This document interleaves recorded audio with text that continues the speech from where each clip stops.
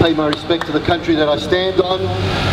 All power to all of you for coming here and gathering and continuing on what you do all across the country. I won't say much because all has been said, but what I will say is I spend most of my time working in suicide prevention. And in the last six months alone, we buried an 11 year old, a 12 year old, a 13 year old, a 14 year old, a 15 year old, a 16 year old, a 17 year old, an 18 year old. And I say that because these people, these children, should have gone on to much more in life, to much more. And why?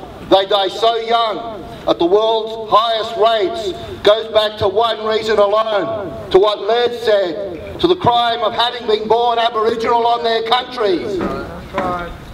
In the end, it is racialised. It is racism. You can talk all the bullshit in the world of substance abuse, of alcohol abuse. That is a relief from the tumult, the dark places that we pummel them into. 7% of the Kimberley is homeless. Outside natural disasters and civil strife, that is one of the world's highest homelessness rates. 7%. Of that 7%, 100% are the first peoples of the Kimberley. What I've described in the Kimberley is also the far north Queensland and to various degrees right across this whole continent. But the more west, the more west you go across this continent, the more the hits on the first peoples, the more racist it gets.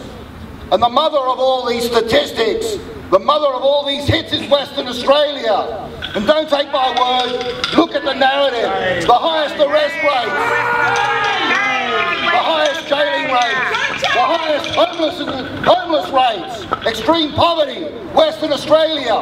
One in 13 of all Aboriginal and Torres Strait Islander males in Western Australia is in prison today. From a racialised lens, from a racialised lens, that is the mother of all jailers in the whole world. Eight percent. The police, the police who often come to me through their police union for help to campaign, for instance with the custody notification service.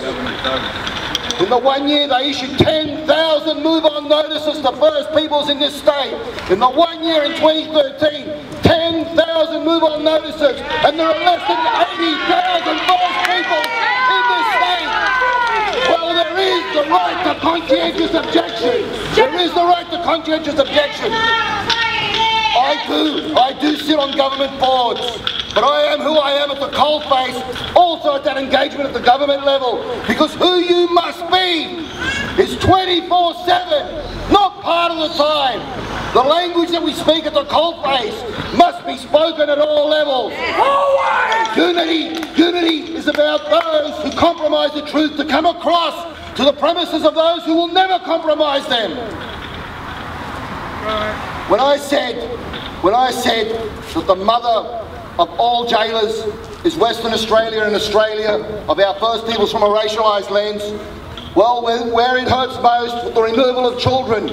I can't find a statistic in the world worse than Australia's for the removal of children.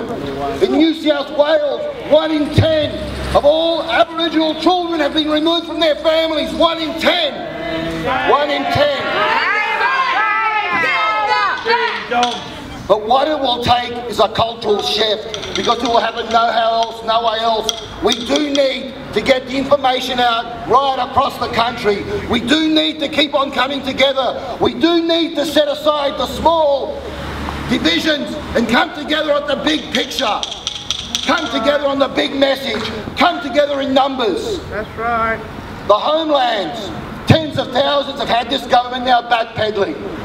We're not there. That journey isn't over. This government now by stealth, by that dirty word of consultation, by that dirty word of consultation, that tricky word, wants to consult about which communities will stay open and which will not. It's a con! Consultation means communities will close. Where in the world, where in the world do you get any community razed? Do you get any community shut down? Only in Australia. Doesn't happen anywhere else. Doesn't happen anywhere else. even if there is natural attrition and people migrate, people want to leave. Waves of migrants came to this country, as they have all over the world, and their villages and towns may not be what they were once in numbers or in services, but their houses are there and their heritage is there for their grandchildren, their great grandchildren, their great great grandchildren to go back to. And yet we want to deny this in the 12th largest economy on the planet second wealthiest nation on the planet. We want to deny to people to go back to their country. We want to raze communities as we did in Oombulgurri, in the Kimberley, where 62 homes were razed to the ground. A beautiful place, a beautiful place that people cannot go back to. There's always more that we can say, but what we must do is take what we were saying here to many, many more elsewhere and keep on coming in numbers and keep on chasing down the justice. Because, as Les said, this is a pressing issue. This is the issue of our times. The suicides, the child removals, the land grabs, the monetisation of the land so the land can become vulnerable and be lost for perpetuity. The right. Much respect to all of you. Much love. And though often I sound like a pessimist, I'll fight the good fight to the end of days. And our days under the sun, however many they are, do not fear what can be done to you. Do not fear persecution. Fight fearlessly.